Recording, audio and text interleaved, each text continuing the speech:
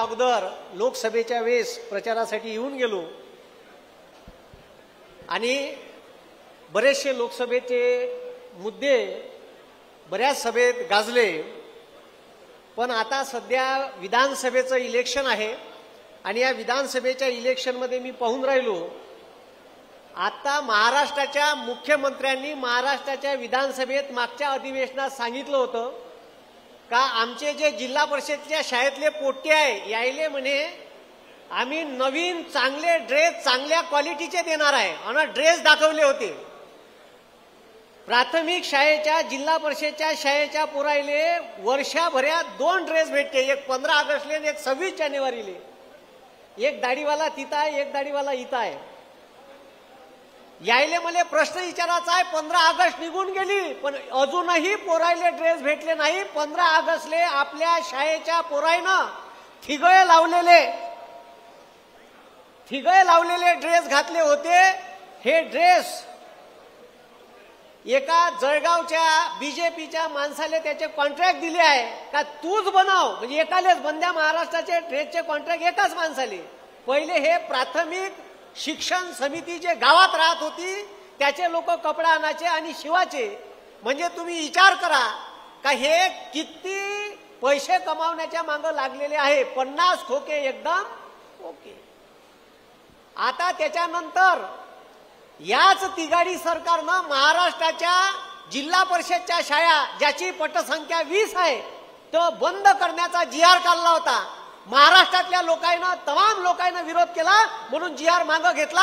नाही तर महाराष्ट्रातल्या गोरगरीब कष्टकऱ्याचे पोरं ज्या जिल्हा परिषदच्या शाळेत शिकते त्या शाळा यायनं बंद केल्याशिवाय ठेवल्या नसत्या. इतकं तुफान काम आहे. आता आमच्या इकडं आता मोदीची सभा झाली. काल पुण्यात येणार होते मोदी साहेब. दोन माणसातला फरक पहा. आमच्या इथं आदरणीय पवार साहेब आहे चौऱ्याऐंशी वर्षाचे तरुण येतात भर पावसात सभा. आणि ह्या दाढीवाला फाटरू? ह्या पाऊस येणार आहे म्हणून सभा कॅन्सल केली यानं. मग तुम्ही विचार करा. म्हणजे या वयात पवार साहेब भर पावसात सभा घेते पाऊस येणार आहे आणि मेट्रोचं काम होऊन त्याचं लोकार्पण करायला तयार नाही. साहेब हॉस्टेल ओबीसीचे बहात्तर हॉस्टेल बंद्या महाराष्ट्रात एका जिल्ह्यात दोन हॉस्टेल एक मुलीसाठी एक मुलासाठी. दोन हजार चौदा पासून मागणी करून राहिलो. एकोणीसले म्हणे देतो. ठीक आहे? वीस एकवीसले म्हणे सगळं तयार झालं. दहा वर्ष लोटले. आता त्यानं प्रोसिजर केली हॉस्टेलची जागा घेतली. पण तुम्हाला सांगतो अजूनही उद्घाटनाले या नेत्याले वेळ नाही भेटून राहिला. आपले पोरं रुमा करून राहून राहिले पण हॉस्टेल द्यायचे उद्घाटन करायला तयार नाही. हॉस्टेलचं भाडं सुरू झालं. आमच्या गावात बीजेपीचा आमदार आहे पंकज भोयर वर्धेत. त्यानं स्वतःचे दोन कॉलेजचे हॉस्टेल भाड्यानं दिले एक लाख चौऱ्याऐंशी हजार रुपये भाडं आहे. तीन महिन्यापासून भाडं त्याच्या घरात चाललं. पण हॉस्टेल सुरू नाही केले. इतके बदमाश लोक आहे का म्हणावं आता येईल त्याच्यानंतर आता तुम्हाला सरकारने एक योजना चालू केली. पैसे पहा कसे काढते तुमच्याच पासून या आमच्या आया बहिणी आहे इथं. पंधराशे रुपये चालू केले का नाही तुम्हाला? पंधराशे रुपयात बहिणीचं प्रेम विकत घेता येत नाही हे लक्षात ठेवा म्हणा. पंधराशे रुपयात बहिणीचं प्रेम विकत घेता येते का? आमच्या आया बहिणीले पंधराशे रुपये देते. शेतकऱ्याले सहा हजार रुपये किसान सन्मान योजनेचे देते मोदी सरकार.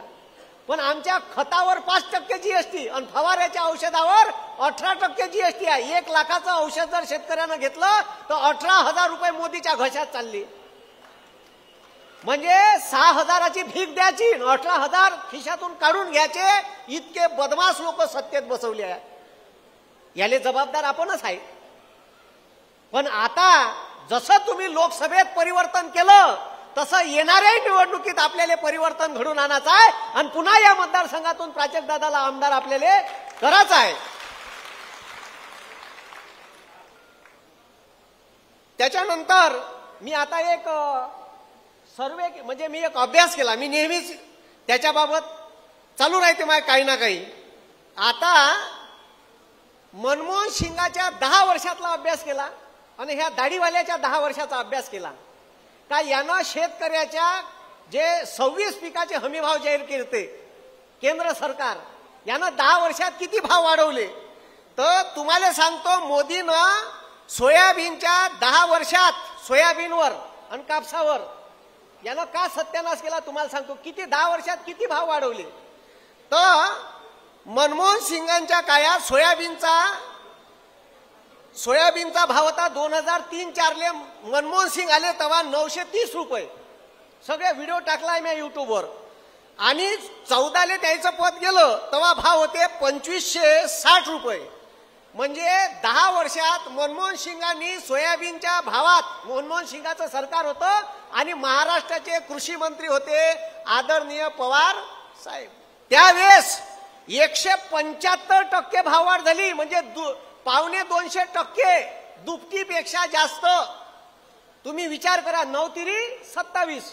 म्हणजे जवळपास तिप्पट भाववाढ केली सोयाबीनची. अन ह्या दाढीवाल्यानं पहा का केलं? ठीक आहे या दाढीवाल्याचा विषय पहा. यानं का केलंय? अरे बा. यानं ह्या जेव्हा सत्तेत आला तेव्हा पंचवीसशे साठ रुपये भाव होते. आणि आता दोन हजार तेवीस चोवीसले मागच्या वर्षी चार हजार सहा रुपये सोयाबीनचा हमी भाव होता. ह्या पठ्ठ्यानं फक्त एकोणऐंशी टक्के सोयाबीनच्या भावात वाढ केली दहा वर्षात. इतकं चालू आहे. आणि यानं भाषणात सांगितलं होतं चौदाले का शेतकऱ्याचा हमी भाव अडीच पटीनं वाढवण अडीच पट्ट सोडा दुप्पट नाही वाढला. म्हणजे यानं जे भाव होते पंचवीसशे मनमोहन सिंगच्या काळात जर म्हणलं तर आता सोयाबीनचा भाव साडेसात हजाराच्या घरात पाहिजे होता. एकव्या सोयाबीनचे भाव बारा हजारावर गेले होते. ह्या पठ्ठ्यानं काय केलं माहीत आहे का? अमेरिकेहून जेनेटिकली मॉडिफाईड म्हणजे जे सोयाबीन आपल्याला लावायची परवानगी नाही ते सोयाबीनची ढेप बोलावली अकातल्यासारखी आणि सोयाबीनचे भाव बारा हजाराहून चार हजारावर आले. इतकं बदमाश आहे तुरीचे भाव वाढले एक वेळा तुरीची डाय बोलावली इजिप्त वरून किती बोलावली? औकातल्यासारखी बोलावून घेतली. सोयाबीनचे भाव तुरीचे भाव चार हजारावर आले बारा हजारावर. तर कंट्रोलले बत्तीस रुपये किलो विकली भोगदाड पडलेली तुरीची डाय सार्वजनिक वितरण प्रणाली. म्हणजे आपले पोरं शिकले नाही पाहिजे. त्याच्यानंतर एमपीएससी ग्रामसेवक तलाठी पोलीस भरती ह्या परीक्षा एमपीएससीने द्या. असं म्या कितीतरी वेळा म्हणलं. वर्ग तीन वर्ग चारच्या पण एमपीएससी घ्यायला तयार आहे पण हे द्यायला तयार नाही. यानं प्रायव्हेट संस्था नेमल्या तिथून काही गल्लोऱ्या खायला भेटत असेल छत्रपती शिवाजी महाराजाच्या नावानं राजकारण करते. याची निष्ठा तरी आहे का छत्रपतीचं नाव घ्याले सुरत मार्गे गुवाहाटी पैते गोवा मार्ग वापस येऊन सकाळी शपथविधी घेते. अरे घेते ना. आणि मग आम्हाला हे सांगते निष्ठा. छत्रपती शिवाजी महाराजाचं स्वराज्य हे याच राज्यातल्या बारा बलुतेदार अठरा पगड जातीच्या निष्ठेवर अवलंबून होतं. तुमच्यासारखी निष्ठा पन्नास खोक्यात इकत घेऊन खाल्ली नाही. असे महाराष्ट्रातले काही निष्ठावंत लोक अजूनही जिवंत आहे आणि ते तुम्हाला फेरबदल करून दाखवल्याशिवाय राहणार नाही. तुम्ही उभा केलेला छत्रपती शिवाजी महाराजाचा पुतळा आठ महिन्यात पडते.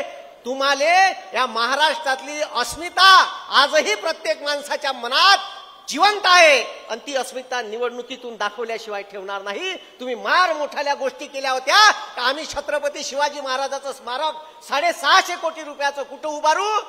अरबी समुद्रात उभारू. त्याचे पंचवीस करोड रुपये खर्च झाले. पण अजून एकही ईट उभी केली नाही. म्हणून हे लक्षात ठेवा का सध्या काय बदलीचं आहे आपल्याला बदल घडवणं गरजेचं आहे. जर पुन्हा आपण अशाच परिस्थितीत राहिलो तर ते उरावर बसल्याशिवाय राहणार नाही.